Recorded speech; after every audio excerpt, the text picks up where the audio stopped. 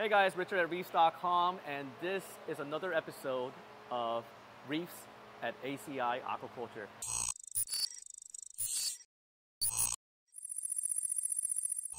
You know, I'm looking at over here, and then I actually didn't see it on that side, but I'm looking at the corner of this, and I noticed a whole bunch of pectinias. I know, right? These are one of my favorite type of corals. Mine too. Now, before, I think last year or so when I last visited, I gave you Space Invader pectinia as a seed. Is one of mine in there, in there somewhere? Um, your seed is the big one back there. nice. And I got that one um, was a piece that we grew out. No, Jake's the one I got from Jake is in the quarantine system in the back. Okay. I just haven't figured out where I'm going to put it yet. Um, but yeah, and I've got some of the colonies that I had are grown out. I got a Space Invader now. It's like this big. wow. It's just- they just started taking off, and Yeah. every time I break it, it grows even faster. So all these little fragments, we actually launched Space Invader Pectinia for the first time in ACI's history. Very Because awesome. we have enough of it. And then I got that other beautiful pectinia right next to it that is blowing my mind with Yeah. the colors. I got that from Aquashella in Chicago Mm-hmm. um, two years ago. I got one fragment. Now we've got four little miniature colonies of it. Yeah. Super unique. I Um, really like that one on the, on the, on the Yes. to the left. Oh my god, it's like a lime green, yellow, gold, and brown, red, and like, Stupid, isn't it? oh my goodness. And I'm toying with Blasto Wellsies to see if I can Oh, farm wow. them as well. I, I, I don't think I'll be able to, but I don't They're think such a it's viable. slow, slow growers, aren't they? We're playing around. You Yeah. know, I might be able to figure out how to make them grow faster, but you know, it's all Your usual way of feed them and see how well they do. all the fun part of what we do, man. You know, just uh, enjoying enjoying the beauty of the animals and learning what they what they require. I mean, it's not just set them and forget them. You know, if you're a hobbyist, yeah, set them and forget them, and just make sure your tank parameters are good. But if you're farming like me, mm-hmm. I get geeky with it. You know, I, I, I you know we we adjust our amino acid doses to think that maybe we're going to get difference in growth out of certain corals. Mm-hmm. But when you have a smorgasbord of corals in the same tank, adjusting amino acids tends to mess with one and not the other. Right, right. So we went back to not playing with that. I've, I've had my ups and downs with trying to help figure out how to grow blastos, but Yeah. hasn't worked yet. Figured out one day. So the question is, is is this one big tub just uh, individual system by itself? No. Or This, this, that, that, and the sump are all the same. gotcha. All the water goes from the sump all the way up to this end, flows all the way through. We have six two-inch bulkheads Mm-hmm. that flows water through there, two three-inch drains down there. Same way with this side. Six bulkheads, all flows through. Oh. Less plumbing, less issues. The only thing that's really not the best scenario is we can't really isolate the tanks to clean one out and not the other. But Mm-hmm. Honestly, Now let, let's let's the way we run our David, the way we run our this. systems, we don't really do a whole lot of uh, we don't have to do a lot of cleaning because we have so much water flow in there. We get Mm-hmm. Yeah. very little settlement. And when we do get settlement, all we got to do is pick one rack up and suck the crap out, and Mm-hmm. we do that once a month. Now tell me about this tub. What is what is this entail of? This tub here was the first tub we put corals in on this farm system. Um, I put a uh, acro to test, um, and I put um, a handful of LPS to test. And once I knew they were doing good, that's when I put my torches in that tank. Uh-huh. We've got the Jason Fox um, Midnight Dynamite Montipora Hirsuta. Um, we've got the uh, ACI Plasma Blast, the classic Milka Stylo, the ACI Sunbeam Austera, a smorgasbord of acros that don't even have names. Some of them do. I don't even know half of them. Um, I think one of my favorite ones is the Jackson's Rainbow that we got. That is Ah, continuous, um, right? Yes. It's right there, the blue one, right there. Unbelievable. Yeah. My Walt Disney was this big. Yeah, I was getting ready to cut it and actually put commercial Walt Disney on the market. yeah. Ian hit. The whole entire thing melted. Oh no. I think I caught the colony over there. Um, Yeah. I was one of the ones that broke my heart really bad. You know, it took me years to get that colony to grow out. I could only got imagine. It, I got it from a place that grew it under LEDs. And when Yeah. Mm-hmm. it went to my metal halides, if you grow a, meadow, a coral under LEDs, in all my experience, and you put it under metal halides, it stunts them, and they won't do shit for a year. really. It took a year for it to start growing.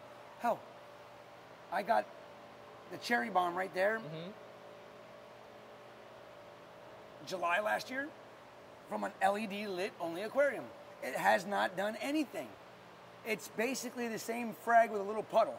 Now, Interesting. now that I know it's doing well and starting to grow a little bit, I'll break it and then it'll just go nuts. But all the ones that are really small mm-hmm. were all gotten from somebody that grew them under LEDs. They're taking a long time to adjust to metal halides, but once they adjust, it's like they're put on steroids.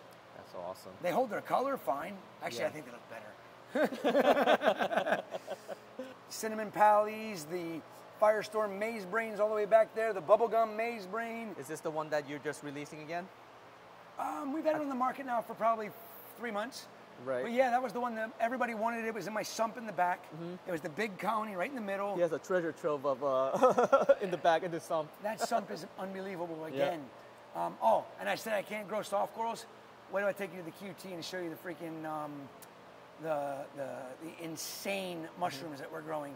Really? Um, we saved some really unique mushrooms um, three years ago when Indo came back. They were single polyps, way overpriced. Tried to sell them, couldn't sell them. Wow. Some of them are like this big around. Really? And I uh, look looking up for them. They're called. Uh, one of them is called a Frankenstein mushroom. okay. Another one is called a. The one with the like a pink rim around it.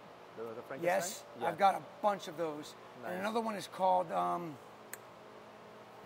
oh my God, I hate the names. You know me. I can't stand it. What the heck is it? a beautiful mushroom. You'll probably know it as soon as you see it. Um, um, but it, I mean, literally, they're like this big around. Yeah, yeah. Amanda took some macros them the other day.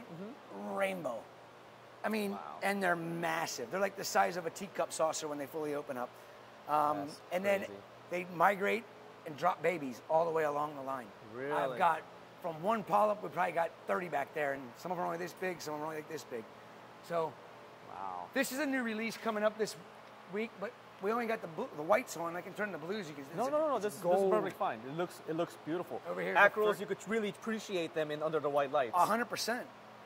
Here's some um, Gonis that we're toying with, learning a lot about Gonis and their growth. You know what really trips me out is you know like these are like used to be considered as a rental corals. Yes.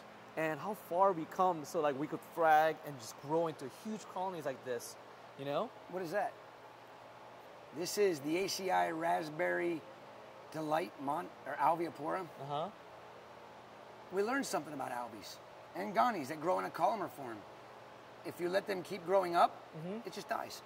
now why is that so do you think because of the light's not penetrating towards the bottom Well, I look Or- back at pictures I've gotten from my, my suppliers over in over in Indonesia and over in Australia, and when they find the huge fields of column growth Gonioporas, only the top three inches of the, of the stem is alive. Even at the edge of the colony, mm-hmm. you still have these thick stalks going up, and it's dead, mm-hmm. and only the top of it is alive. So it makes complete sense. Mm-hmm. This here is Alveopora. Yeah. Then you got, I put these over here, not knowing whether they were encrusting, whether they were column shaped growth or what. But we learned that this one here is a column growth. And look at it. That's a Goni. right right right 24 It's not dying because it's unhealthy. yeah It's dying because of probably because of shading, mm-hmm. and it's just nat- natural for it to do this. So I'm learning as they grow up, I need to just start cutting them so, and fragging them and just manipulating their growth. Right, And right. then once the end user gets it, they can watch it grow into a beautiful colony and grow up, grow north. This right here. See if you get this one right. What is that? Well, it's the citrus fruit.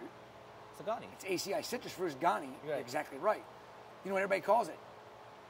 Bernardpora. but that's not a Bernardpora. No, yeah not even close. yeah we had this But conversation everybody calls these things Bernardporas. They're all Ghanaian Poras. Yeah. Bernardpora, I can show you what they are. Mm-hmm. I've got some stupid rainbow ones growing in the back over here. Um, but it's going to be kind of hard to get to. Um, do we need a do we need a water boost to get into your sump pretty much. Um, but then we got this beautiful coral here called Turbinaria heronensis. hero hero you know- Hero. You know, this this actually has a story. Um, geez, I think this is like maybe 15, 16 years ago. Uh, I only like you know I, I never really like I, I was fond of this coral, but Jake turned me into this turned me into this coral. Yep. And this is a hero coral, and you should definitely get it, Richard. It's coming to Miami. Pick it up. So I went to pick it up, and man, it's like I start to appreciate some of his unique taste in coral. Yes. You know? Yeah, he was just like me. Everything and anything that nobody wanted, I wanted. Yeah. You know, it didn't matter if it was brown or That's gray. a in, very interesting shape of growth. Okay, what what you I'm- need to I'm, know? I'm more like I'm I'm used to seeing more of a plate pattern okay. like that. Do you know that this And this, Uh huh. all of these heroes in here all came from the same piece of coral that I imported from Australia. I believe that. They're all the same exact DNA, Mm-hmm. all growing right next to each other with different, different growth patterns. Is that not cool? That's awesome. You know, and like it, it's finding out why they do that, and it's just it's it's such a joy to me. It's You know, I- I keep- I do what I do, man. It's like I think that's why we like get along so well because we geek out something like this in the middle of the night. Like he called, he used to call me around like midnight. Richard, I just grabbed, I just got the most amazing shipment. I was like, Chris, you get shipment every week, every day, and you say this every time. And he's like, no, no, no, but this time it's different. I promise. Does everybody know what this is? Mm-hmm. Turbinaria peltata. okay. Do you know what it is now? It's Duncanopsammia peltata. Turbinaria or Pagoda Cup is no longer Turbinaria. It is Duncanopsammia peltata. And then how were they able to determine that? DNA. If you look at a Turbinaria peltata, old school, Uh-huh. Yeah, yeah, yeah. and look at the size of the polyps, Okay. and then you look at a Turbinaria reniformis Okay. or a Turbinaria bifrons Mm-hmm. or a Turbinaria heronensis, the size of the polyps is completely different. The structure of the polyps is completely different. I always knew it was different. Mm-hmm. I was just waiting for the right people to come along and actually reclassify it. But that is a 100% aquaculture Mm-hmm. from a frag pagoda cup. It's funny because it actually does look like a cup, doesn't it? You should try this. Drink. You can put your beer in it. Right? Will it remain green afterwards? I don't know. so I moved it off to the side a little bit. Yeah. But Jake's corals, I mean, the, the growth of the crystal experiment is Yeah. spectacular. How long did, did this take to grow from a frag? Six months. Six months. It's funny Nice. because we were, when this first came to US, we were you and I were talking about it, The Manila. uh, and it's, it's Manila spy is, I mean, it's a weed, and Mm-hmm. It grows um, so well. I'll never be able to get the money for it that I used to, but Mm-hmm. um, I'm not worried about that. I'm just happy to see Jake's legacy continue on Yep. with this beautiful coral. Turbid, or uh, Montipora carinata. Mm-hmm. Very, very nice coral. Yep, it grows really well for me in my tank as well. I don't know. I, I okay. You we me a- sold them like like, crazy in the beginning, like, and I don't sell them hardly at all anymore. It's like everybody, all the stores that got them from me, it probably came in broken into pieces. Mm-hmm. They probably kept the little nubs for themselves to, to grow out. And they grew well. They grew well. Yeah. Yes. Like I see that you have this Sonic the Hedgehog. Do you have the golden one that Julian has in his office? I have the, The Julian one. got from me. Is that right? I have so you- golden you in the have back. it. Yeah, I okay, got okay. tons of it. Good. I got a pink one too. I was about to give you one if you didn't have it. But this is this one here. uh, This Oh, is probably wow. The best all these tank for growing our zoanthids. Um, I got two polyps of Grand Masters from somebody. I think I got 30. Um, what? My Bower. Yeah. Dude. Look how much it grew. So good. Oh my gosh. It grew like crazy, didn't it? Yeah. Look at the yellow one out there. Jesus. Look at the one with the yellow and the orange and the red. Like and right in the center. Yeah, it's My freaking God. stupid. It looks like an old school. I don't want to say Acan Lord. Uh, Micromussa Lord. like like that Yeah. one, the color. It's unre- unre- It looks like a rainbow Acan. Look I've at- got a Bauer one collection. right there. I oh my know. god. And that one. I know. Oh my gosh. Everybody's been going nuts over them, and then I learned how to tissue frag them. Jeez. So we don't actually always take a polyp, Uh huh. and they grow into, they get a full polyp growing on them in time. Um, it's a really, really unique uh, method for fragging, but it's not, I haven't mastered it yet. Here's another new zoo that we, we released a couple of months ago. We sold out in a matter So of days. Bright. My God. Called the Lorax. Uh huh. So Super bright. freaking bright. Well, they're closing up on me, of course. Because you. We got Stratocaster, Stratospheres. Uh-huh. I got hallucinations, predators. I don't know the names of all these daggone things, but there's so many of those melters. oh my God. Yeah. You see, last time I was here, this was just set up. It was just water. Yep. And you had those uh, the Marco rocks in the back, and that was it. Yep. My God. I'm growing out the rainbow chalices over there. That's, Uh-huh. They seem to really like it over there. All the way over there, you can see the Bernardporas. The red and the green, the yellow. I see that. That's just insane. Now, are they like um, are they aggressive as some of the other like Pepaganis? They're nasty. They will I they will whack everything. Now they don't bother Gonioporas. But anything But- else it touches, it, it Yeah, will. they pretty much whack everything. Yeah. I've got a um, spawned baby torch down here growing. Really? You see the uh, green stag, Yeah, yeah, yeah. and you see the rock. Look Yeah. at the gold torch right in between there. You see it? Right I see it. I see it. there is a baby torch coral that grew from a larva, from a spawn, right in this tank. That is But so cool. it had to happen down there, Yeah, make its way then- through the empty tank over here and into my sump when the socks were overflowing. It's the only way it would have made it. Now this is a spot that not many people get to see. Yeah. This is the the holy grail of ACI aquaculture, for me at least. This is the, if you look at the back section here, David, if you could turn around with me, this is his pride and joy section of the farm. Flagship farm. This is the first farm system we ever had. Yep. This is the last system we put in over here. You, I, you That guys didn't have here. this. You guys Okay, didn't have this Take a I look was. at this. This is where your head's going to spin.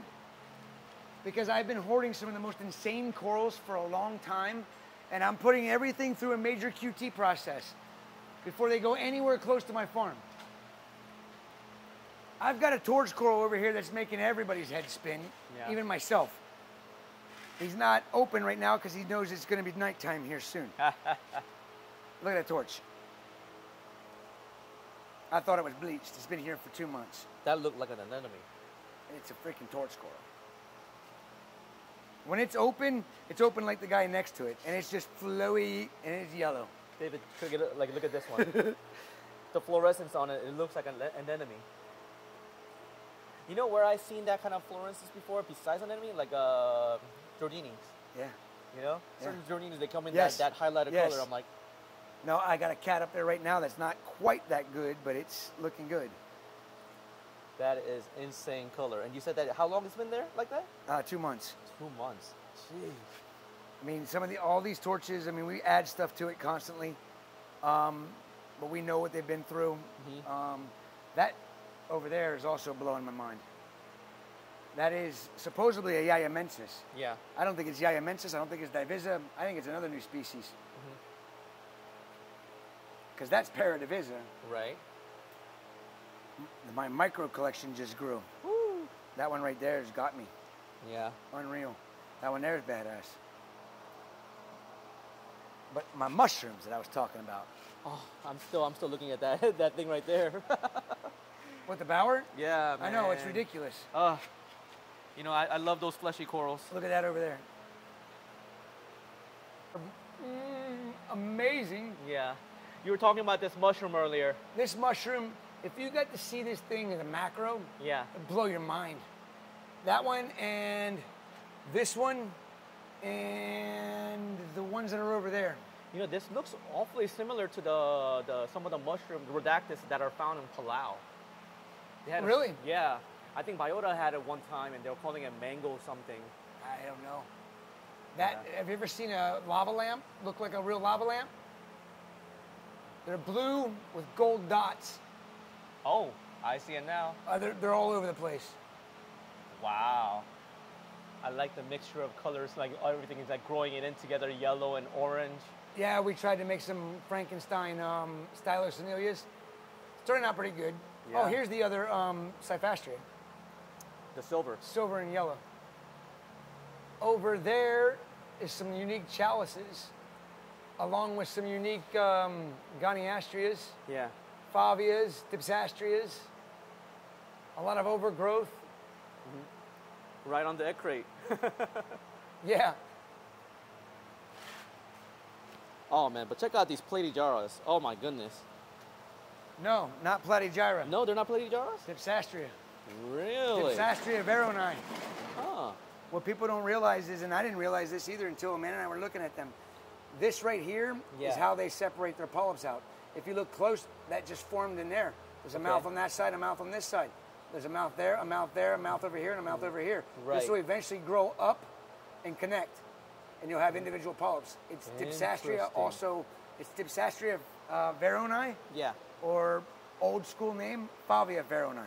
So let me ask you a question. Does it have a stingers like Platygyras, or like is it is it like a, it behaves They like all have stingers, Right. But they don't. But you know, they don't extend. usually like. no, they don't extend at all. They're like, you know, like that big. Gotcha, gotcha. That's beautiful. Yes, isn't it? Man, We haven't figured out what we're going to name it, but Amanda just posted it the other day.